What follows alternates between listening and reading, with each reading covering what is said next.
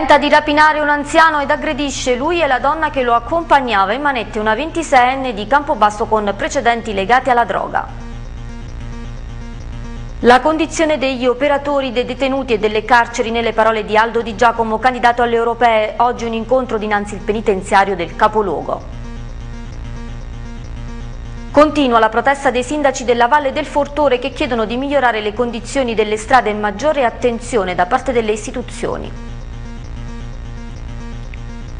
Isernia ha un nuovo vescovo che succede a Monsignor Salvatore Visco. Si tratta di Camillo Cibotti, originario di Casal Bordino e fino ad oggi vicario della diocesi di Chieti Vasto. Buon pomeriggio e bentrovati a questo nuovo appuntamento con l'informazione di TLT Molise. Come avete ascoltato dai titoli apriamo parlando eh, fatto, di un fatto di cronaca ha cercato di rapinare un anziano di Campobasso dopo aver percorso con violenza lui e la donna che lo accompagnava. Per questo una 26enne del capoluogo è stata arrestata dai carabinieri e condotta nel carcere di Avellino. I dettagli in questo servizio. Aveva individuato la sua vittima nell'ufficio postale di via Pietrunto a Campobasso mentre stava facendo la fila per ritirare la pensione. Poi, dopo che l'anziano preso di mira ha riscosso il denaro ed uscito per rientrare a casa, lo ha pedinato fino a cogliere il momento giusto per entrare in azione. Così una 26enne del capoluogo, approfittando della strettoia di un vicolo del centro storico nei pressi di Salita San Paolo, è entrata in azione aggredendo con violenza prima la donna che accompagnava l'86enne, scaraventandola a terra e colpendola con calcio all'addome e alla schiena per renderla inoffensiva, poi ha iniziato a spintonare l'anziano, prendendolo per la giacca, tentando di infilare la mano nella tasca interna per sottrargli la pensione fino a farlo cadere di peso.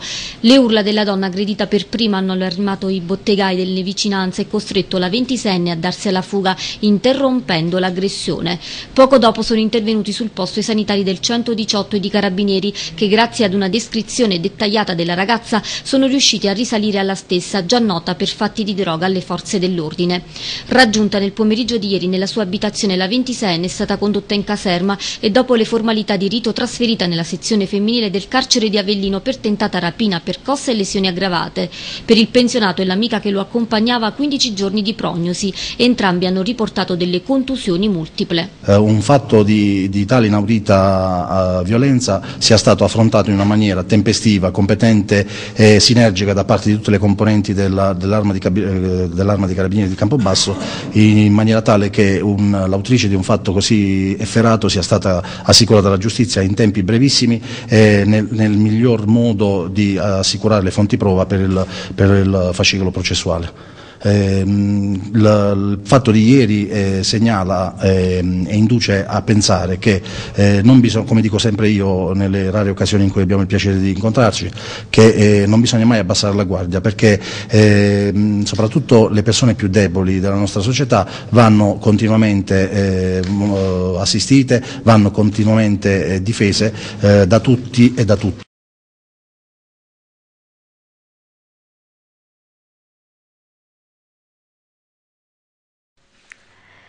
Nottata movimentata a Campomarino grazie alla segnalazione di un cittadino i carabinieri sono intervenuti in via dei Gaspari dove due malfattori stavano uscendo da una tabaccheria con la refurtiva. Entrambi alla vista dei militari hanno tentato la fuga riuscendo a dileguarsi ma abbandonando i tabacchi ed i prodotti rubati successivamente riconsegnati al proprietario dell'attività commerciale.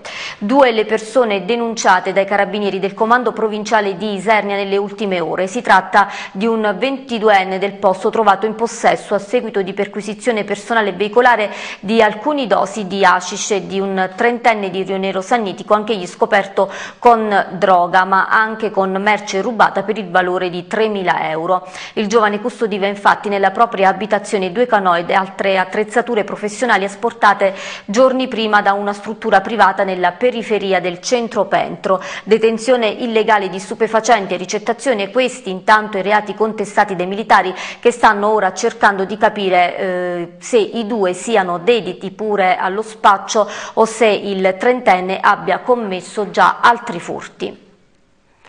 La questione carceraria in Italia, la situazione difficile in cui versano gli operatori, le strutture e i detenuti nelle riflessioni di Aldo Di Giacomo, candidato alle europee per l'Italia dei Valori. Le sue riflessioni in merito questa mattina nei pressi della casa circondariale di Campobasso.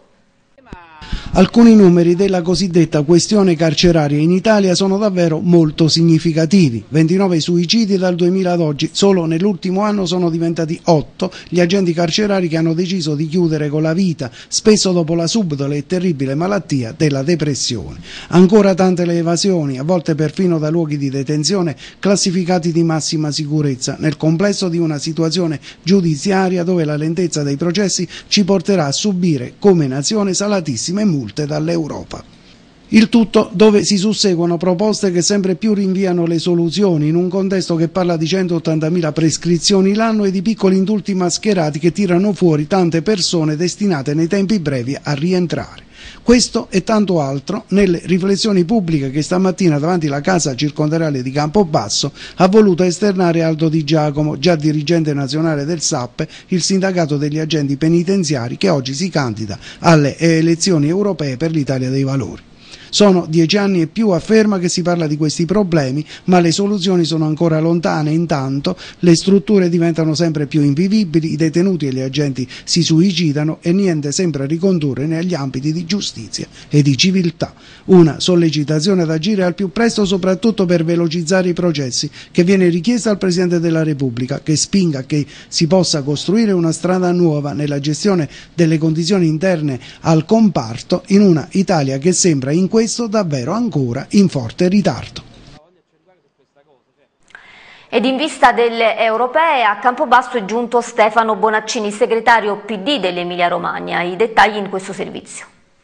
E Stefano Bonaccini, segretario PD dell'Emilia Romagna, responsabile nazionale degli enti locali del partito, la guest star dell'incontro che ha visto riuniti tutti i candidati del PD, incontro nel quale il più stretto collaboratore di Renzi si è soffermato in particolare sull'appuntamento delle elezioni europee, nella speranza che il voto porti ad un cambiamento in Europa, dopo una stagione fondata sull'austerity, in quello che si annuncia come un derby tra la rabbia e la speranza, noi siamo siamo quelli che puntano sulla seconda.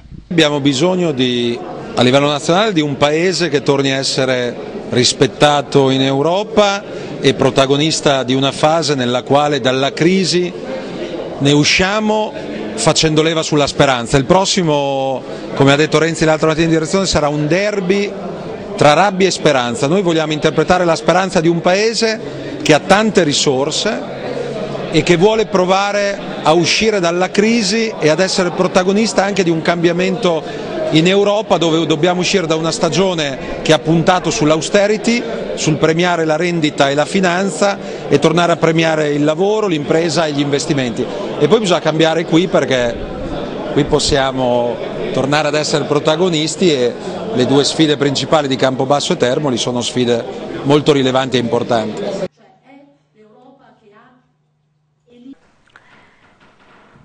Sindaci della Valle del Fortore continuano a protestare per le condizioni stradali chiedendo anche maggiori attenzioni da parte delle istituzioni. Il servizio. La necessità di tutelare le direttrici che collegano il Molise alle altre regioni, in particolare con la Puglia, il sempre costante degrado che subiscono le realtà che si affacciano sul versante del Fortore, ma soprattutto l'esigenza di rilanciare a pieno titolo quelle che sono le eccellenze di queste realtà che subiscono il disinteressamento dell'istituzione, sono alla base della manifestazione di protesta che ha visto scendere materialmente in strada e manifestare apertamente alcuni sindaci della Valle Valle del Fortore, i quali, con tanto di fascia sindacale, hanno fatto sì che la protesta prendesse corpo e desse un segnale di attivismo. Come molti tratti purtroppo delle strade molisane, anche statali, non abbiamo più una manutenzione ma soprattutto non abbiamo più un'intelligenza di programmazione per cui succedono morti o incidenti anche non mortali ma molto gravi che chiaramente devastano famiglie e rendono tutti noi dolorosamente come comunità partecipi di questi lutti e basterebbe un impegno finanziario, una progettualità adatta e una modifica di alcuni di questi tratti come quello dove stamattina abbiamo manifestato con gli altri sindaci su iniziativa di cittadini volenterosi che chiedono semplicemente di andare al lavoro, di vedere i propri figli che vengono nelle scuole di Campobasso transitare con sicurezza. È una protesta giusta, è una protesta che però è anche una proposta. Mettiamo in atto quelle poche cose che servono. Lì c'è un progetto che va ultimato, delle curve che vanno eliminate grazie a un tracciato nuovo, un asfalto drenante che elimina nei giorni di pioggia il pericolo fortissimo al quale tutti andiamo incontro, molto spesso anche di chi non conosce quella strada, perché noi ai noi ormai siamo edotti rispetto ai rischi mortali che ogni giorno percorriamo nei tratti del Fortore fra la Puglia e il Molise e che invece molto spesso altri che non conoscono si trovano a dover fronteggiare. Tutto questo non merita il nostro territorio, il territorio non merita davvero rispetto come le vite umane. Dare in concessione terreni agricoli confiscati alla criminalità organizzata a giovani che non hanno compiuto 40 anni e che abbiano la qualifica di coltivatore diretto o di imprenditore agricolo professionale, secondo le modalità e le misure di prevenzione previste dal Codice delle leggi antimafia e quanto prevede la mozione presentata dal gruppo del Partito Democratico della Commissione Agricoltura del Senato. Con questa mozione, affermano i cofirmatari Francesco Scalia ed il molisano Roberto Ruta, si impegna il governo nella lotta lotta senza quartiere alle agromafie, alla contraffazione e per la tutela del Made in Italy. Bisogna adottare tempestivamente ogni azione di contrasto perché questo fenomeno è in rapida espansione. Organizzato dal Consorzio di Libere Intese il convegno a Campobasso sui dieci anni di amministrazione di sostegno al quale hanno partecipato tantissimi operatori del settore, una riflessione complessiva in compagnia di esperti amministratori di imprese e di enti pubblici. Un convegno decisamente interessante, quello che pone al centro una riflessione complessiva su tutto ciò che ruota attorno al cosiddetto sostegno sociale. Lo ha voluto ed organizzato a Campobasso il Consorzio di Libere Imprese, chiamandolo appunto dieci anni di amministrazione di sostegno, spalmando in due giorni gli interventi di numerosi esperti del settore, oltre che titolari, amministratori ed operatori dei percorsi socio-assistenziali. Presenti anche alcune figure istituzionali istituzionali. Noi abbiamo sentito Michele Petraroia, assessore regionale alle politiche sociali. Non c'è un trasferimento di risorse ad esempio dallo Stato alle regioni e magari in questo caso la Regione non adottando la normativa ha precluso questo diritto e questa opportunità sia ai cittadini che versano in quella condizione di fragilità e sia nei confronti delle persone che evidentemente possono e vengono nominati come amministratori di sostegno. Nel momento in cui c'è la legge quadro nazionale il Molise sicuramente dovrà adoperarsi per recepirla e come abbiamo fatto con il recepimento della legge quadro sulle politiche sociali, la 328 del 2000, andremo a recepire e a contestualizzare attualizzare nel nostro ordinamento regionale anche questo provvedimento. Sta di fatto però che per un verso non è che si può sostenere a Roma che alle regioni non bisogna più trasferire i fondi e poi venire sul territorio magari da Trieste o da un altro posto e si rivendica che le regioni dovrebbero trovare le poste in bilancio per soddisfare tutte le necessità e tutti i bisogni. A me mi pare che in qualche caso c'è un elemento quasi di schizofrenia, qui ci dobbiamo mettere d'accordo, le regioni non servono, le chiudiamole ci sia qualcun altro ad occuparsi delle fragilità e dei problemi, ma questo qualcun altro non, non, ha necessità soltanto della legge, poi ci serve anche il capitolo di bilancio che finanzia quella legge, si deve capire da dove vengono fuori le risorse per assicurare i benefici alle persone che si trovano in difficoltà. Il comune di Isernia ha presentato il parco canile comunale. La struttura che verrà inaugurata sabato mira a diffondere una nuova concezione di canile quale punto di accoglienza in grado di riabilitare l'animale e prepararlo alla futura adozione. Vediamo. Il comune di Isernia ha presentato il parco canile di Contrada Valle Soda che sarà inaugurato sabato prossimo 10 maggio e lo ha fatto nel corso di una conferenza stampa in cui l'assessore municipale al ramo Marco Amendola, il sindaco Luigi Brasiello e il dottor Claudio Di Ludovico del servizio veterinario dell'ASRAM hanno illustrato le novità e le peculiarità della struttura sia da un punto di vista funzionale che formativo.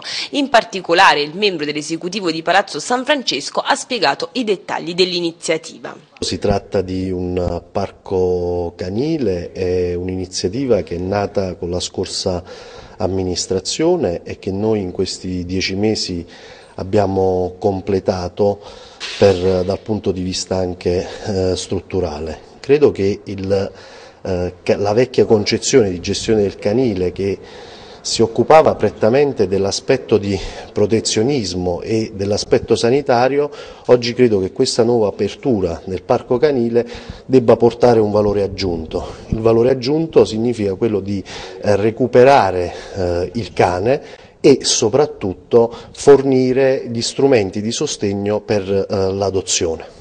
Questo lo faremo ovviamente in accordo e con la gestione collegiale di tutte le associazioni animaliste presenti sul territorio, in modo che il parco canile possa diventare veramente uno strumento per l'adozione ed essere vicino diciamo, a chi, eh, all'amante dell'animale, a chi ha intenzione di eh, eh, prendersi cura e adottare un cane. Dal punto di vista sanitario, dal punto di vista strutturale è una struttura importante perché ha un'area dedicata ai box sanitari, ci sono aree di eh, sgambamento e nasce nell'area più panoramica e più naturalistica della, della città di Sernia in zona eh, di Valle Soda e noi all'interno di questa struttura sabato alle ore 10 faremo un convegno proprio per migliorare eh, anche la cultura del rispetto degli animali e soprattutto favorire l'integrazione uomo-cane.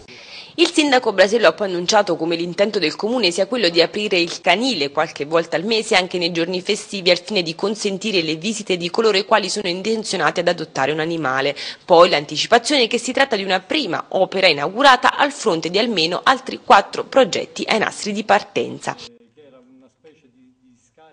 È stato ufficializzato alle 12 di questa mattina a Isernia a un nuovo vescovo che succede a Monsignor Salvatore Visco. Si tratta di Camillo Cibotti, originario di Casalbordino e fino ad oggi vicario della diocesi di Chietivasto. La sua nomina è stata ufficializzata dalla Sala Stampa Vaticana. La cerimonia di consacrazione a vescovo è fissata per l'11 giugno, poi Monsignor Cibotti giungerà ad Isernia il 28 giugno successivo, pronto per accogliere il 5 luglio Papa Francesco.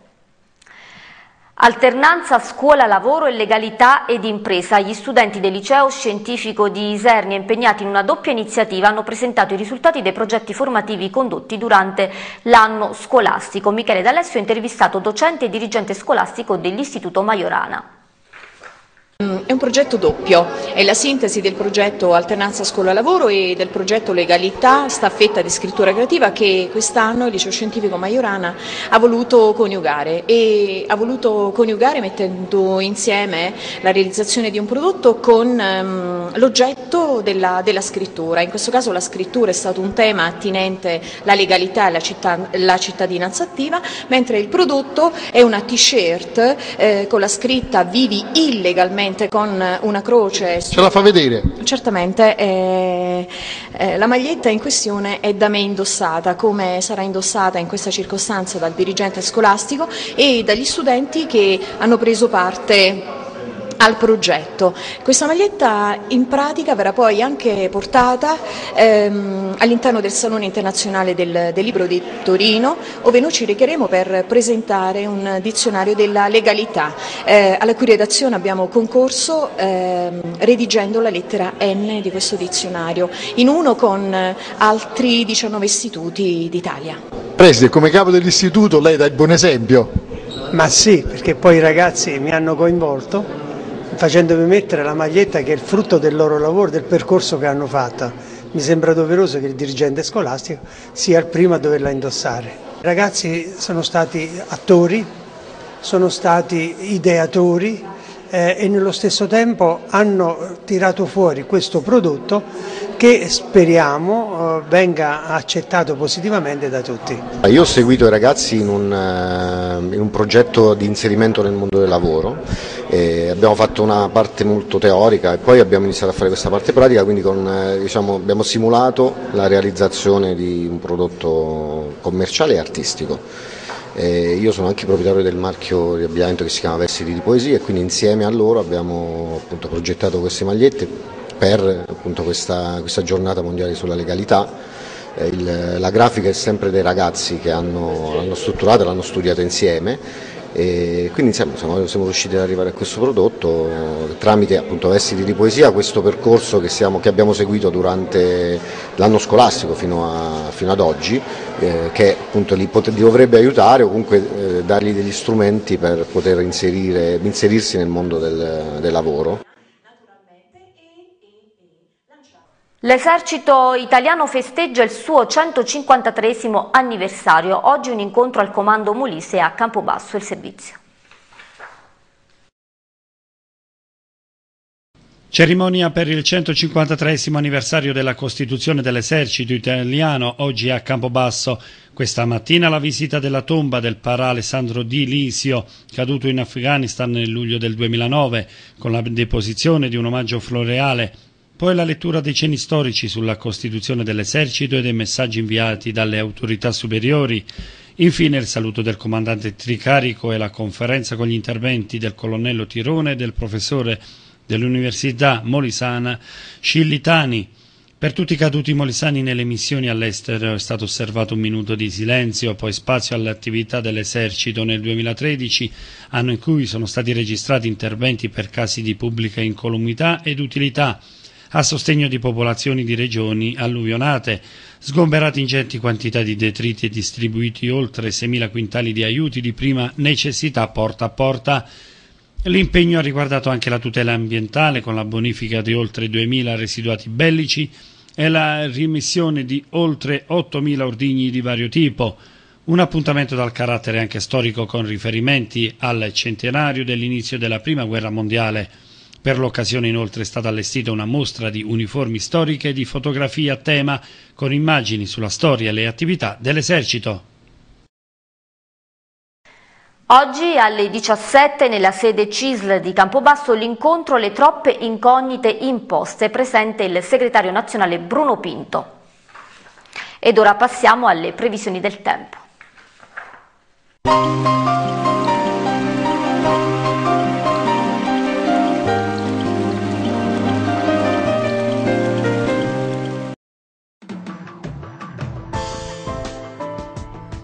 Tempo stabile e parzialmente soleggiato oggi sul Molise. Le temperature sono comprese tra i 10 gradi la minima di Campobasso e 20 la massima sui Serni e Termoli. Adriatico centrale poco mosso, ventilazione debole settentrionale, dalla sera cielo stellato. Sulla regione domattina il cielo si presenterà con molte schiarite. I valori climatici sono attesi in ulteriore aumento. I venti ruoteranno dai quadranti nord-occidentali.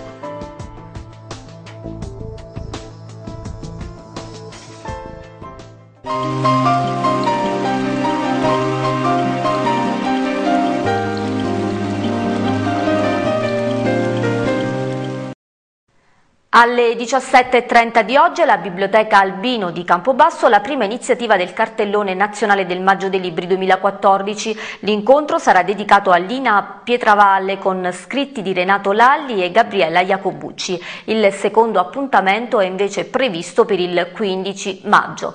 Bene, con questa notizia si chiude il nostro telegiornale, vi ringrazio per l'ascolto, vi do appuntamento alle prossime edizioni. Arrivederci.